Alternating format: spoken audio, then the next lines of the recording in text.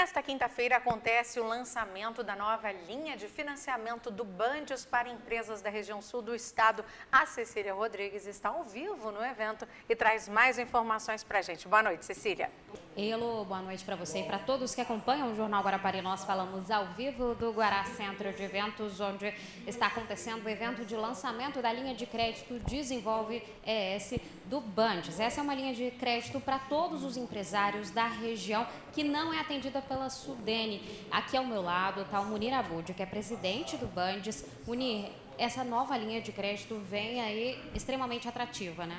Extremamente atrativa juros abaixo da taxa Selic, que empresta até 30 milhões de reais, com 3 anos de carência, 10 anos para pagamento, efetivamente é uma linha de crédito que tem como responsabilidade, como missão, trazer a industrialização à região de Guarapari.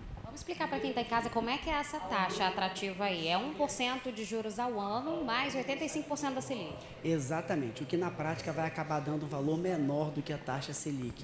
Ou seja, nós estamos emprestando recurso abaixo do nosso custo de captação, porque o nosso objetivo mesmo é fomentar a economia e a geração de emprego e renda na região. Muito bem. Quem pode aí ter acesso a essa linha de crédito, Munir?